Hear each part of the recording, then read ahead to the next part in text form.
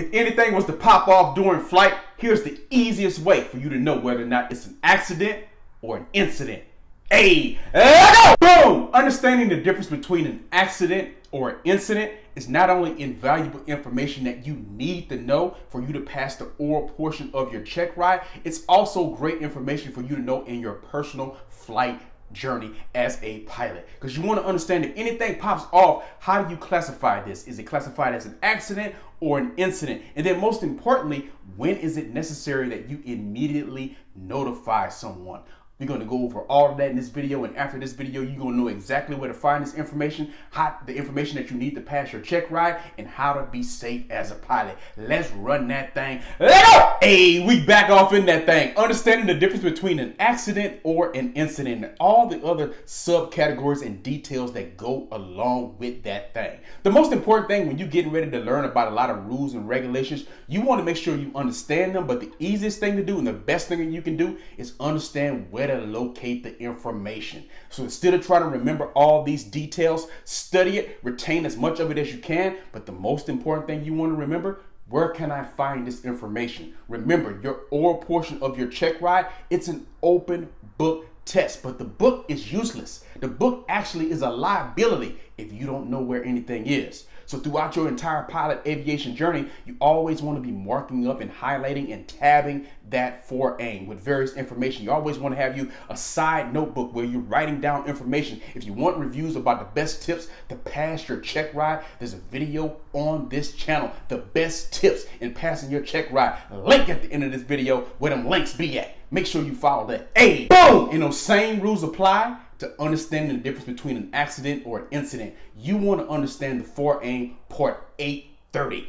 830 in that thing is going to tell you everything that you need to know about an accident or incident. Let's run that thing right now. Let go! Boom! The first one you want to be concerned with is an accident. What exactly is an accident and how is it defined?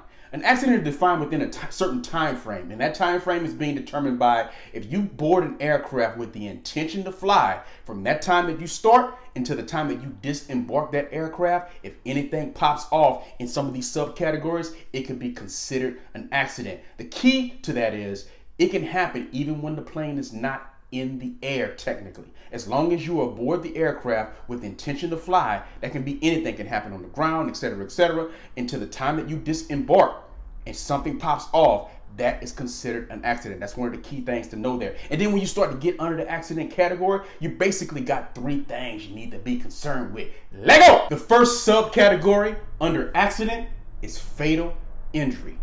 If someone dies within 30 days of an accident, is considered a fatal injury. As you would guess, the next subcategory under an accident is serious injury. So it's not fatal, but it's still incredibly serious. That can lead to broken bones, organs, internal kind of damage, burning, second, third degree burns, more than 5% of the body. A lot of things can go into making it a serious injury. If a person is hospitalized for more than 48 hours within a seven day window after the accident, again, considered a serious kind of injury. Those are the categories that you want to understand about an accident. You got that fatal, and then of course you have a serious injury. Boom! And lastly, under an accident, is substantial damage. If you got substantial damage to your aircraft where it's just no longer airworthy, it's completely damaged, it's completely totaled and done with, of course, that is considered substantial damage, and that is a result of the accident. And these are the subcategories that you want to concern yourself with when you get ready to explain the difference between an accident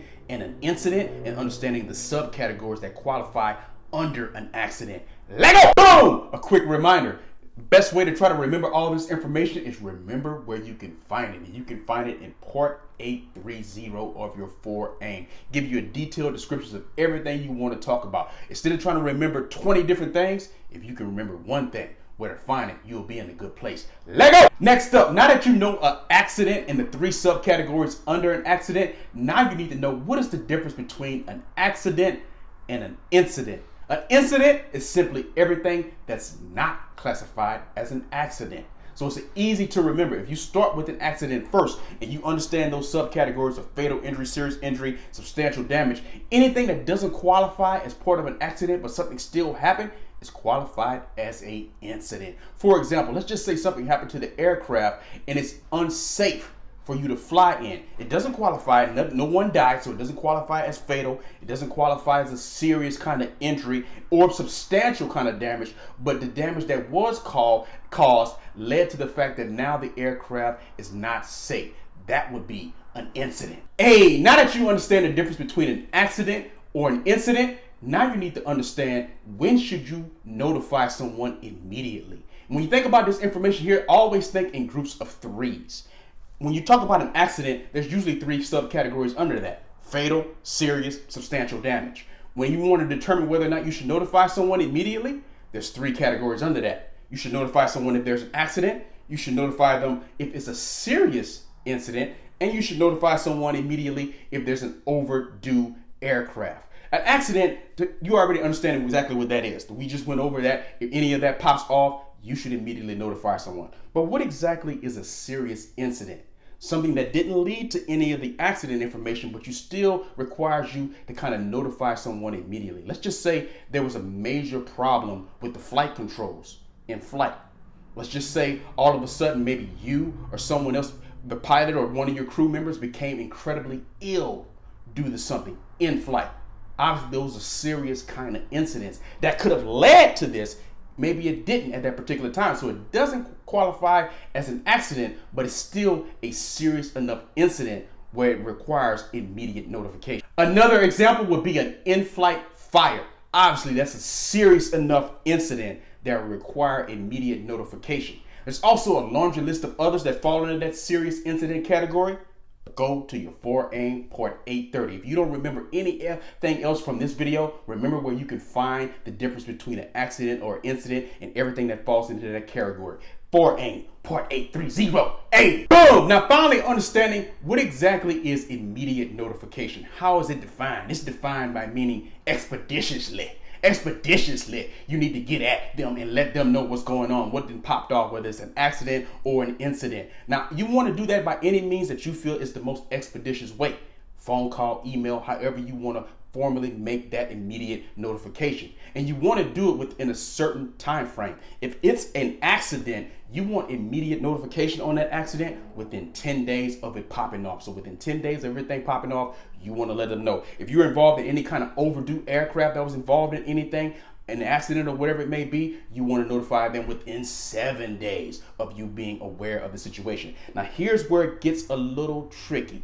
The serious incident both the accident, whether it's the accident or the overdue aircraft, without request. Remember, they don't have to get at you. You have to get at them. You understand the situation. You know what popped off. You need to immediately notify them. The serious incident, you only have to notify them if they ask you to. If they ask you to notify us and let us know detail what popped off, what happened, then you're required to give them immediate notification after they done reached out to you. So the accident in the overdue aircraft, you immediately reach out to them. The serious incident, they going to contact you first, and then of course you reciprocate and let them know what's popping off.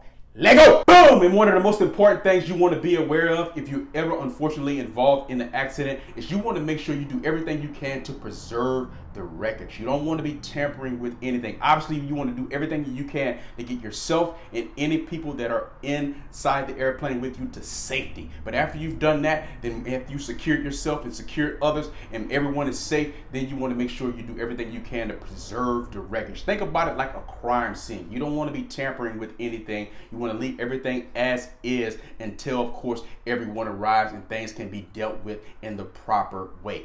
Boom! I hope that you enjoyed many, many years of safe flying without any accidents or incidents. But you can use a lot of this information as you observe the world of aviation and start to read articles and see things and understanding yourself and ask yourself, do you think that that was an accident or an incident based on what happened? Do you feel that they had to immediately notify someone so you can start to just review everything that happens in the world of aviation and how you would have handled it if you were in that situation? That is how you can use this information, and that's how it's invaluable to you to not only pass your check ride, but to use it throughout your aviation journey. Let go! Don't forget to like this video, comment on this video, share this video, and subscribe to this channel.